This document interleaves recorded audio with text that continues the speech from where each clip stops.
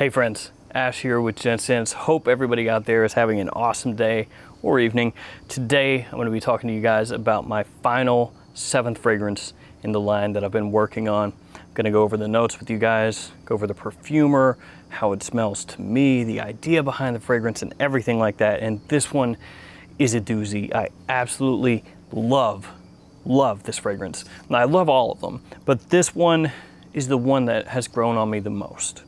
It's one that initially I was lukewarm on, but oh man, I just kept going back to it. It's like it, it dug its claws into me and, and never let go. And every time I came back and wore it, I loved it more and more and more. So let's jump into this.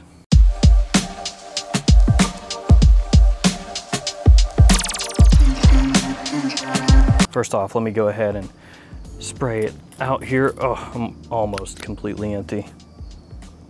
Mm. So I guess first off, the perfumer, Francis Kurkdjian. Yeah, just amazing to be able to, to work on a fragrance with him. And uh, if you're unaware of Francis Kurkdjian for any reason, I don't know why, why you would be unaware of him, but if you are, he did Jean Paul Gaultier Le Male and a lot of fragrances actually for that house, including Ultra Male.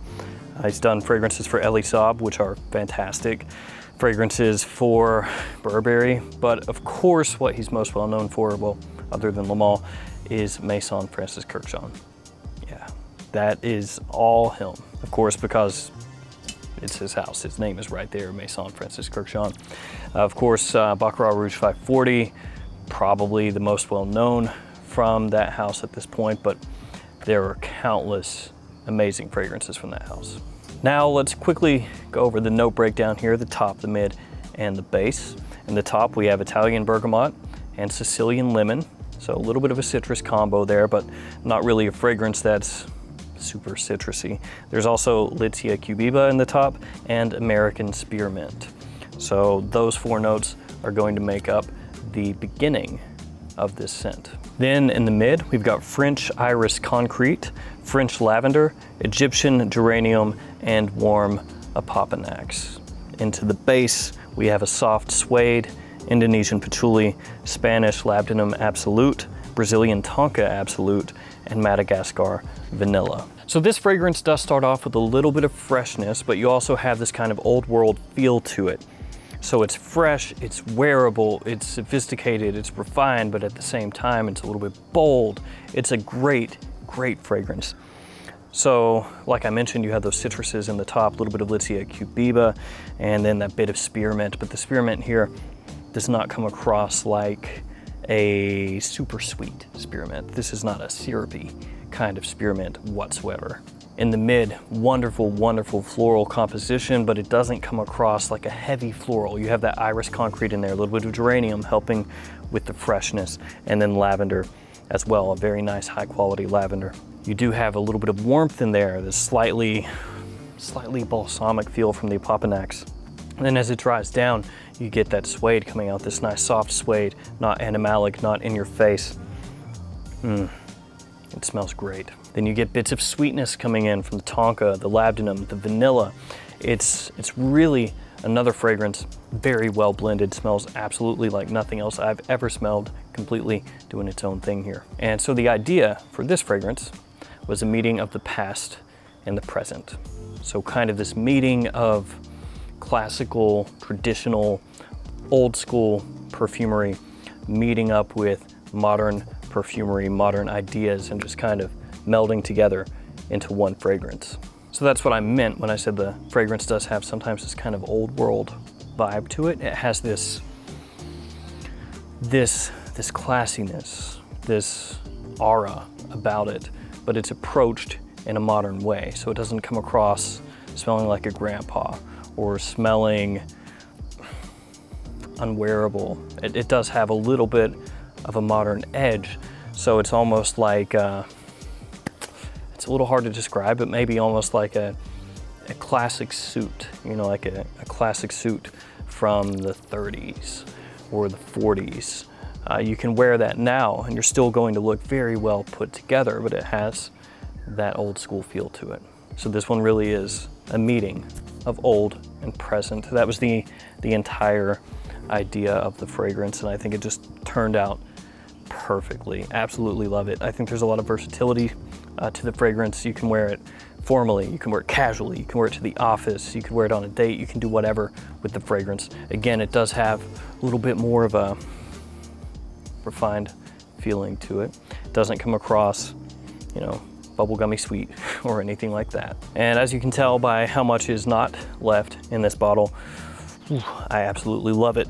And my wife as well really, really, really loves that fragrance and with her as well.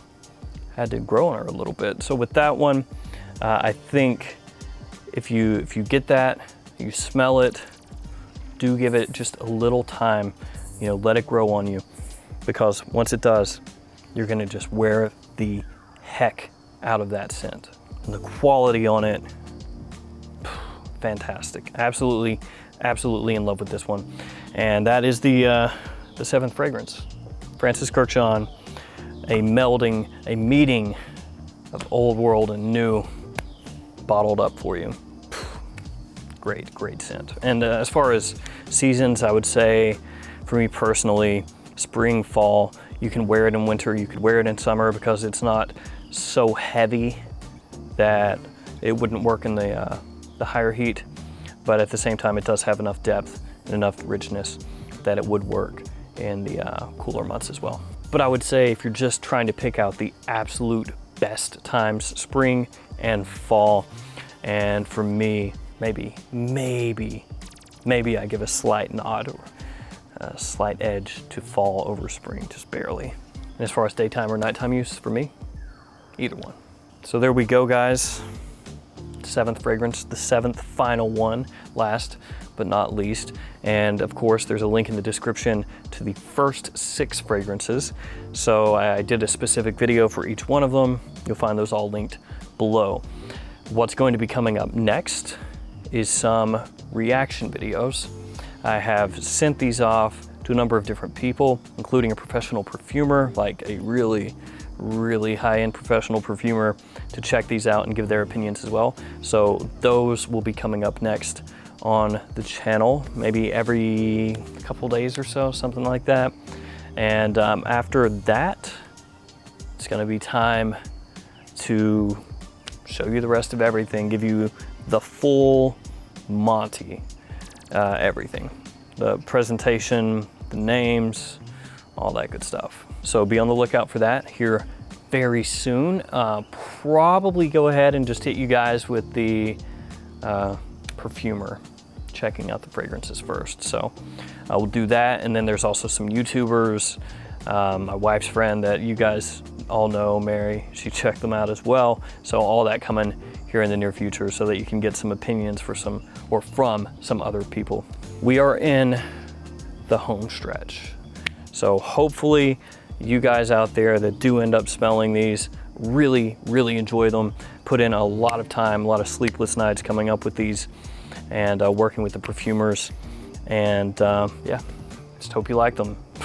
I freaking do. And so far, the people that have smelled these, both within the fragrance community and outside of it, you know, just people I know, friends or uh, co-workers, things like that, have really, really dug these.